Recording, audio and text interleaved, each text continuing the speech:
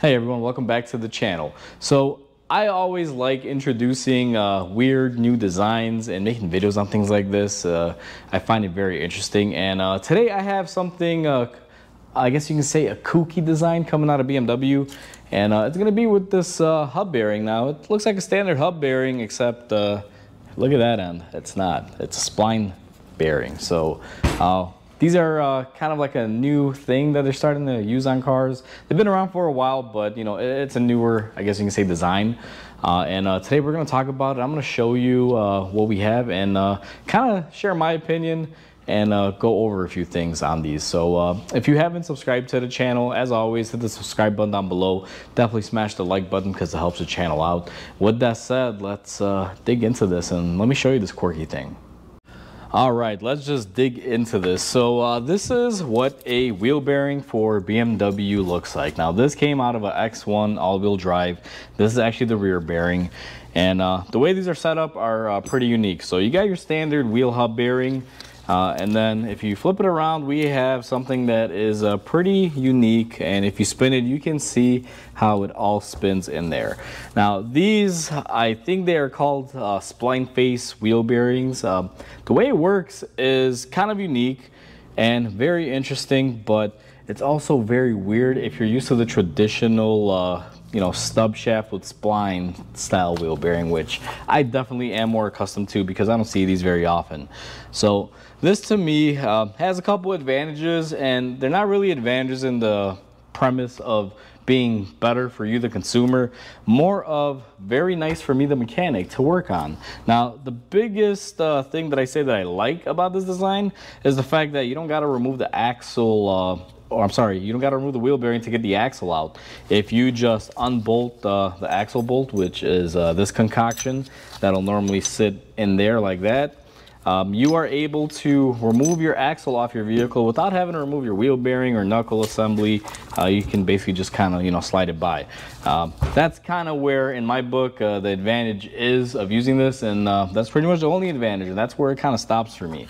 Uh, I'm going to set this here at an angle. Now, the reason why I really don't like this, and I'm sure there's people that are going to say it's a superior design, it's better. Now, I think BMW probably made this more compact and a little bit easier because it is on a smaller platform of car. Uh, or maybe they're just trying to switch up the design. But for me, if it ain't broken, don't fix it. That's always been my motto. I like the old school style of having a shaft with splines going in, uh, being held into the bearing. Because a big drawback that I see on this is, let's say you don't follow the kooky procedure to tighten this, or let's say this comes loose.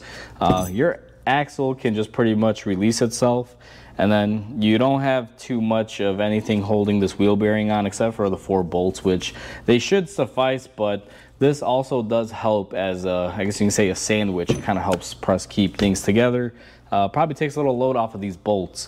Um, not that that is a common thing of happening, but just in my head, uh, it's uh, something that could be a little bit more risky, even though the potential of this happening is slim to none. Um, you know, it, unless you just don't tighten anything or everything breaks, then that's a whole different story. But for me, the reason why I really dislike this design is the design to me is low power, and I can see this breaking very easily. Um, the most difficult part about installing this is making sure that these are nice and uh, you know connected. They're intertwined because you can actually put it you know where it's like two gears on top of each other because you can see it's like a gear spline. Um, and if you put a gear to gear and you bolt it up and you try to drive it you're gonna get that and you're gonna shear it off uh, you got to make sure they're intertwined kind of like this you know they're coupled together so it forms a nice unity so it's a little bit more difficult on that front a little bit more nerve-wracking especially uh, if you're doing this at home to uh, get these lined up uh, big drawback to that versus an axle with a stub shaft and splines you just you know put it on in there put the axle on and tighten it up um, but the biggest thing to me like I said is uh, the power on this. Um, I don't think these can hold as much power as the other ones. I could be wrong. I'm not an engineer. This is just my thoughts on this. But uh, for me, having this with uh, you know basically like two intertwining surfaces like this and they're not even deep grooves they're like shallow grooves kind of like this. What happens if you have a lot of power and you just you know shear it off versus having something that will go in there and spline and actually carries the load a little bit better?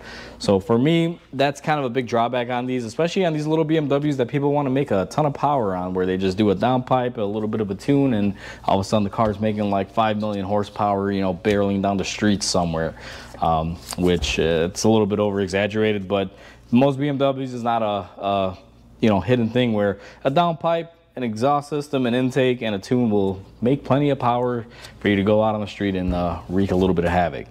Um, this is not one of them. This is just a mom and pop, you know, grocery getter. to X1, like a little platform SUV, but uh, I'm sure you can tune it up. But uh, either way, um, this is what they're designing nowadays. And, you know, I, I, don't know. This is one of the first ones that I've done. I've seen these, you know, in uh, the area of automotive lately, but I've never gotten my chance to do one. Uh, it To me, it's about the same as far as replacing them. The only thing that I really do hate is that they use stupid hardware like this, uh, eTorx, which uh, sometimes these, if you've done this long enough, know that these will rust up. You can't get the size on there and can't get them off. But aside from that, I mean, if the bolts were just standard, regular, you know, cutouts, it would be just about the same as replacing any other wheel bearing. I really didn't find it that much more difficult. Um, the hardest part, like I said, that you'll probably experience, and even for me, I just had to make sure was making sure that the splines are, you know, correct on here um, because the axle has the same type of uh, look and it's the opposite of this and they're supposed to intergroove or interlock with each other. Um, the way I did that was just basically put the two together, uh, put my axle nut bolt through, lightly tying it by hand, and kind of rock the two until they mated. Then uh, tying it up a little bit more, just hand tight, and then I was wiggling my wheel bearing and just making sure that my axle would engage as soon as I touch the wheel bearing, because any movement here should be movement here, so your axle should be moving. Uh, and you know that's how I was able to lock it on. Um, it wasn't horrible, but like I said, just a little bit more nerve-wracking, especially if you're not used to it. But uh, for me, this design, even though uh, it's about the same, it's a nice, interesting new design. You can't really knock it too much, except for I don't think it'll hold as much power uh, as the old school style of stub shafts with splines. That's where I kind of, you know, will want to go with the more tried and true method. Um, it's just a new, interesting take, and for me, engineering in itself, this is what it's about. Make new items, try them out, see if we can make things easier to work on. And if I was a tech just replacing axles, this would be a dream because uh, like I said, you don't have to remove a wheel bearing to get the axle out or, you know, possibly remove the knuckle or loosen it to get the axle out because normally when you have a stub shaft, you got to pull that thing out quite a bit. Um, but that's where, you know, the only advantage comes into in my book. Everything else is disadvantages to it. And uh, it's nice to see a nice new fresh design, but I don't think this is it, to be quite honest. Now, this is just my feeling on it. Uh, I may be wrong. This thing may be able to hold 5,000 horsepower. I don't know. Uh, but for me, just, uh, you know, if you get on in there and you look at those teeth, they're, they're just a little bit too shallow and not deep enough and not aggressive enough to hold a lot of power in my book. So that's uh, my take on this. So overall, uh, I just thought this was interesting and new. There will be a video of me replacing this on a BMW so you can see me uh, kind of figure things out as uh, we go from there.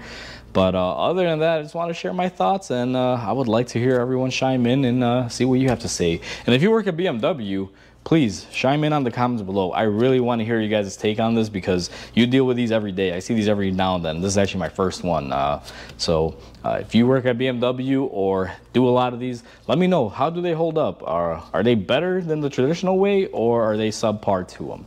Um, in the comments down below, as always, uh, just give me a shout out, let me know. So that's pretty much it. Uh, I'm gonna cut the video here because I don't want to rant all day about this weird new design. But uh, overall, guys, uh, that's uh, that's the cake, as they say. So as always, uh, comment, like, and subscribe because it definitely helps the channel grow. I hope everyone has a wonderful day, and I'll catch you on the next video.